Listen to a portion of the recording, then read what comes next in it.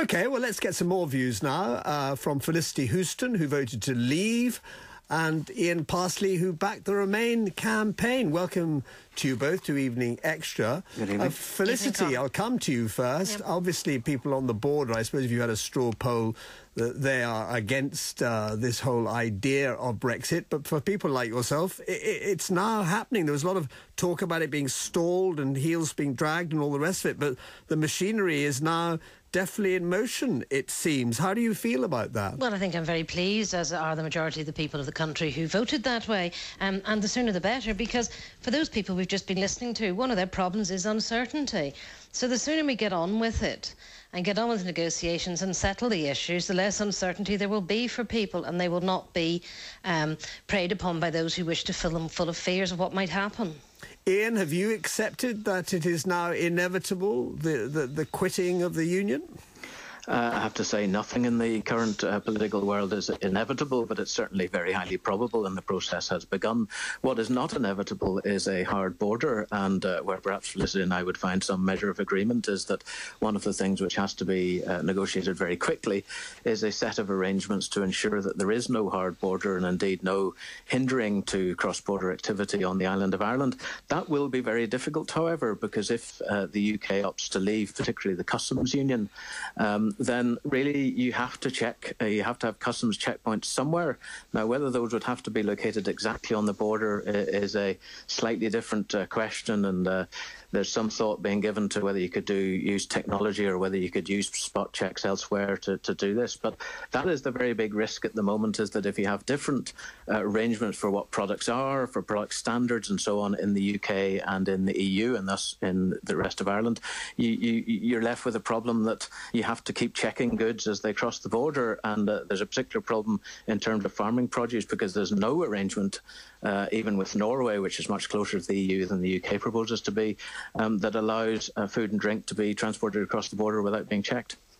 This firming of the border, if it happens, Felicity, is a very divisive issue, and um, people are worried about what the ramifications could be politically and otherwise. Does it worry you at all? Well, I suppose I remember the real hard border, you know, that we lived with for 30 years. I mean, when, when you couldn't get through at all without being checked by the police and the army.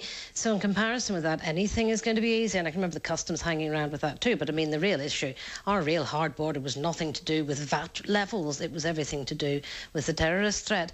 So, you know, we're never going to go back to that sort of hard border, I sincerely hope.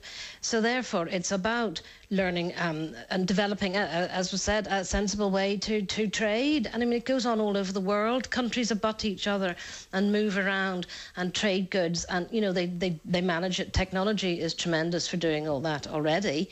And I think that's there, there will always be spot checks. There are spot checks crossing down to Dublin already if you're transported in public transport. The guards come on and check your um, ID already, you know, so these things are already happening. And hopefully it'll be no more than that.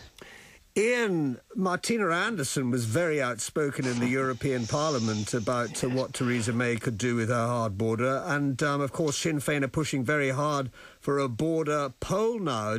Does that seduce you in any way, the idea of going into United Ireland to, to, to, to save our relationship with the EU? I, think I think we have to focus on, on where we are, which is uh, the very real prospect that Northern Ireland will be out of the European Union two years from now, and the Republic of Ireland will be inside it, and that uh, there will have to be some form of checks at the border. So I think we have to focus on what we can do, and there are plenty of things we can do to avoid that being the case.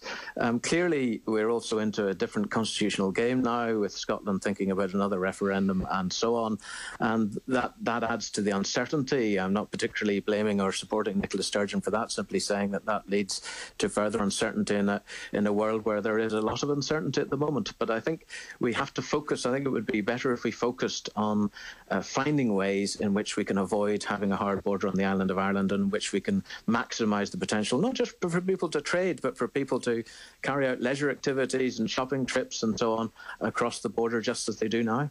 Unfortunately, Ian, the Brexit hardliners in London and the southeast maybe are driving this, and they're not in a mood for compromise, are they?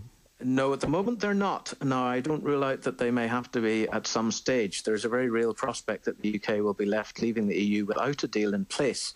Um, and although they're talking a, a, good game about that at the moment, in fact, it was the chairman of the Leave campaign himself who said that uh, the EU would have to offer us a good deal and so on, and is now admitting that no deal would be a very serious problem. So there's a lot to play for, and I think there's a very real problem that at the moment it appears to be um, particular uh, centre right interests in the southeast of England that are predominating in the debate. But I think um, we have a role to play and we have a voice to be heard, and we have to make sure that our voice is heard and find allies uh, willing to, to willing to join us in that cause. And I think there are plenty of them.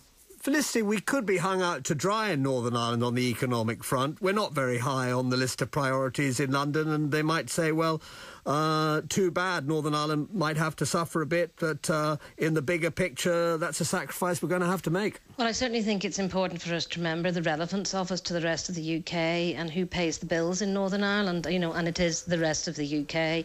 So there is a problem about that. I mean, I think one of the things that will exercise um, both the Irish government's mind and the, the British government is the open border, the porous nature of it. Ireland doesn't want to be the place that migrants arrive uh, trying to get into the UK. You know, they, they, they don't want to have that situation of turning into what Sicily's like and, and other access areas within the EU.